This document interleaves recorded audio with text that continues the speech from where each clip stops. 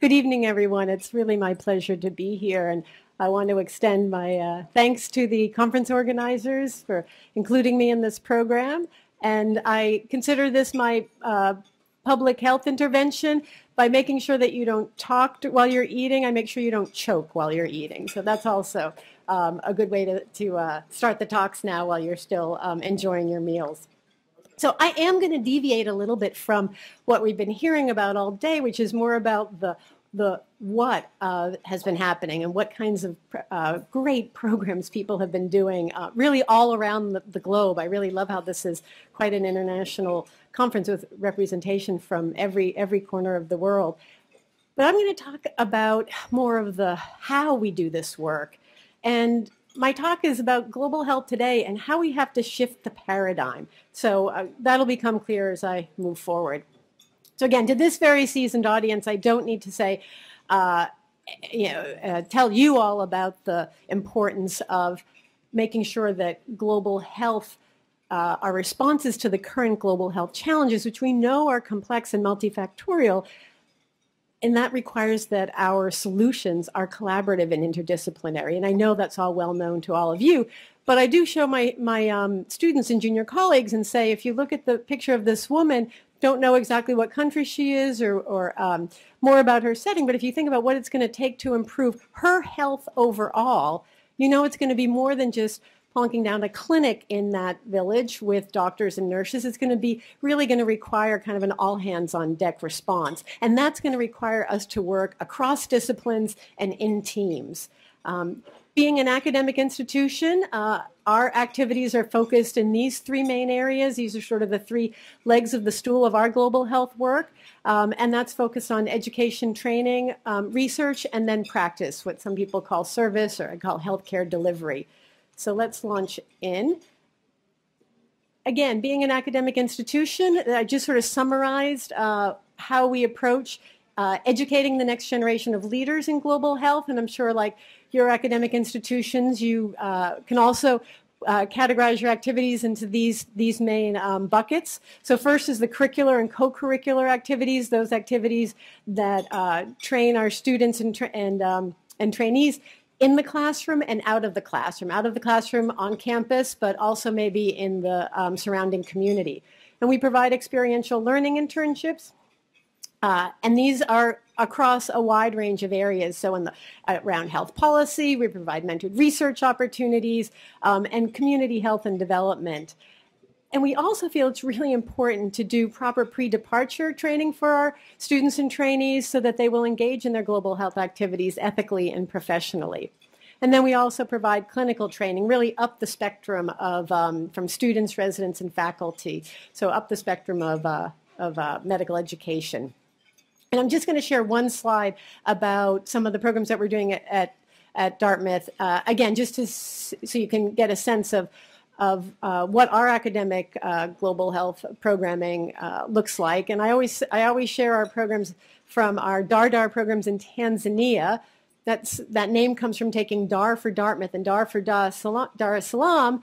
And my um, colleague, Dr. Twalib, will tell us that it mimics the Kiswahili word dada, which means sister. And we feel like that actually captures the spirit of our, of our relationship. So with our DARDAR programs in Tanzania, I say we've, we've achieved the perfect trifecta there because we have programs that are focused on clinical care and service delivery. We, we together with our partners at Muhimbili University, established the first pediatric HIV care and treatment center to provide um, antiretroviral therapy to children living with HIV. We have very active clinical um, research, uh, uh, uh, very um, active clinical research site focused on TB uh, prevention and TB HIV sequelae. And then we also have a very um, prominent education and training arm. We've uh, been fortunate to receive several uh, training grants from the Fogarty International Center at NIH. And of course, when we talk about training and research, we usually use the metric of uh, numbers of publications that that collaboration has generated. And so I share some of those numbers here, but also another metric that we use, which is not just the number of publications, but how many of those publications had Tanzanian co-authors and first authors.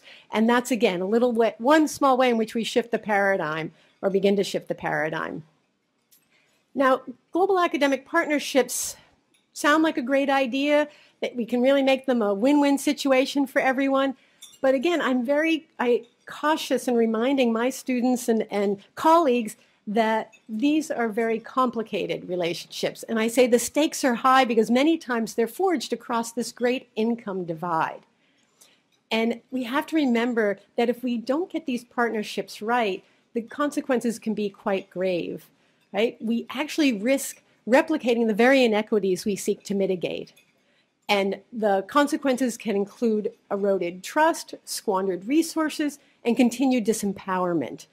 And frankly, it's time that we stop learning these lessons on the back of our low income partners, and we have to stop these preventable failures. So that's why I promote shifting the paradigm uh, in how we do global health. And let me give you some examples of how I think this paradigm should shift. So, paradigm shift number one is about moving global health out of the realm of charity and volunteerism or voluntourism, where it has, has lived for many years, into the realm of global citizenship. We all want to create good global citizens.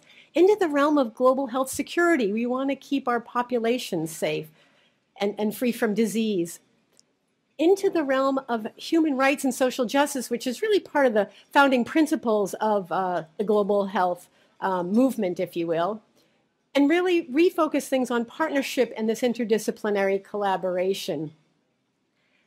And really frame global health as an academic discipline, adding that rigor to the work that we do. And I often say, you don't really want a doctor who dabbles in internal medicine to treat your hypertension or one who dabbles in oncology to give you your cancer chemotherapy.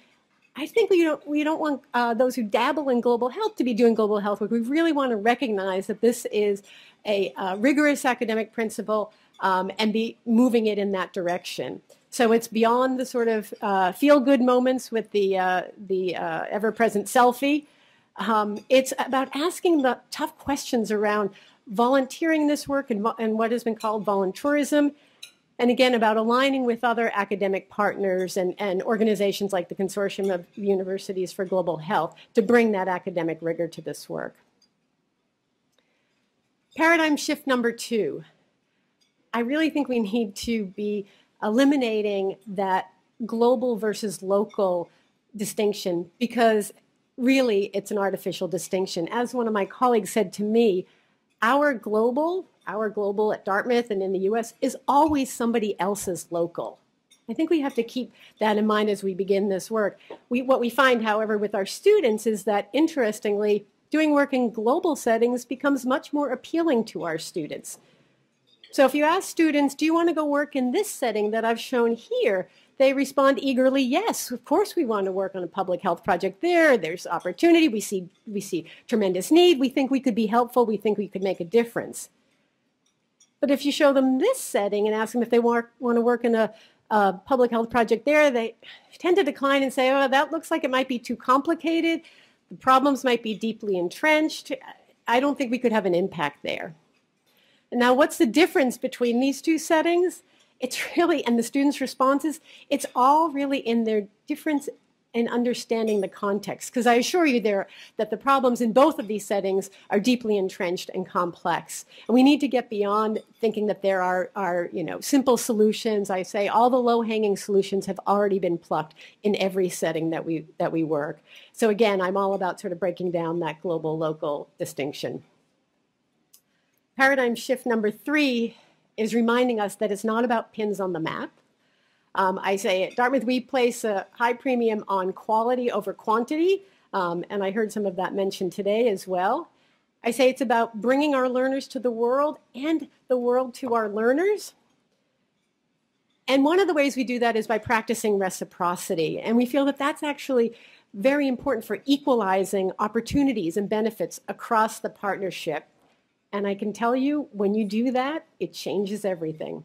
So I say, if we're going to send Nareth Carlisle, who's a was a Dartmouth uh, Medical School student, to Muhimbili um, National Hospital at Tanzania, we have to be willing to receive and support uh, J- uh, Jacob Kagizi and, and Goodluck Laiatu coming from Muhimbili University to spend time at um, Dartmouth Hitchcock Medical Center. And what's fascinating is when the Tanzanian students first arrived at Dartmouth, my colleague said to me, you know, Lisa, this is really hard. The students arrive and they don't know our medical system or our medical record, and we really have to orient them to everything.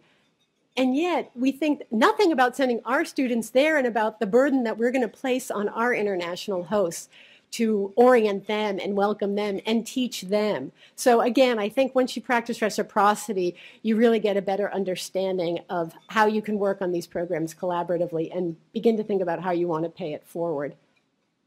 And the last paradigm shift is just a reminder that it's it's not about us and the um, coming from the wealthy institution, the the um, uh, the uh, wealthy academic um, um, university never was, never should have been. It's really about placing the partnership at the center of the work that we do. It's about following our partners' lead such that their priorities set and drive our, our agenda in this work. I'll just mention one last um, concept, too, that's part of this last paradigm shift, which is around the concept of decolonizing um, global health and global health partnerships. And there was a conference held here at Harvard, um, I think in, uh, in the winter, organized, I think, primarily by students around this concept. So I know it's, it's, been, it's been discussed in these hallowed halls. I think we need to remember to ask ourselves sort of who's driving the activities, who's benefiting from the work that we're doing. One of my colleagues um, advises his students of global health to, before they go overseas, to first do no good. And what he means by that is to remind them to sort of uh, slow down and not focus on their priorities and their agendas and their getting their uh, needs met and really um, gets them to sort of slow down and really focus on the partner's needs and, and uh, be better learners and listeners. So the doing this work around co-designing, co-problem solving across borders, history, power dynamics, very complicated work and, and a, um, it's sort of an ongoing journey for us. But I do remind us, coming from the high income countries, about watching our language, behaviors, being uh, better listeners than, than talkers. We, I tell my Dartmouth students, you get rewarded all the time for being outspoken and assertive and speaking your mind. And now I want you to unlearn all of that. And I want you to be much better listeners um, and guests when you're, when you're overseas. And again, reminding ourselves to uh, before we, we engage in this work to get a better understanding of the context and historical legacies in the places where we work. So I know Rwanda was mentioned a number of times today, and I had the privilege of um, being one of the first physicians to uh, work in the Rwandan Human Resources for Health program and spent six months in Kigali in 2012 and sort of share their, that model um, as a new paradigm that I felt Rwanda was um, setting for us, where it was very clear that it was the Rwandans in charge of this Rwandans in charge of this program, um, really setting the program goals and agendas for us, and really making sure that all solutions were Rwandan owned and driven. And it was, and, and that their um, learners, students, trainees should be prioritized, and that their communities, the health of their communities, should be prioritized in everything that we did there. And I say, you know, Rwanda was showing us um, a new paradigm, um, how we might do this work differently, but it also shouldn't be incumbent upon them alone to do that, and that we as their partners need to be uh, helpful and supportive in helping promote this, this new paradigm. So just a few final words to remember as we as we do move forward and think about this paradigm shift. Of course, we want to be continue to be engaged in um, truly collaborative research, thinking about building partnership and what it means to be, in this case, operating um, shoulder to shoulder with your um, counterparts. Think about practicing reciprocity and how that changes um, uh, the work that you do and, and um, can actually change the relationship with your partners when you, when you focus on reciprocity. And then, of course, building human capital, because I think at the end of the day, it's really about the next generation. And we want to shift the paradigm for, for them so they don't have to, but that they can just naturally step into this um, new paradigm and take global health to the next um, level. So I will finish with these words. Um, many of you have probably heard them before, but it's the guiding words for our work. It says, if you want to go fast, you go alone. And if you want to go far, you go together. And I think we should be in this for going the distance. Thank you.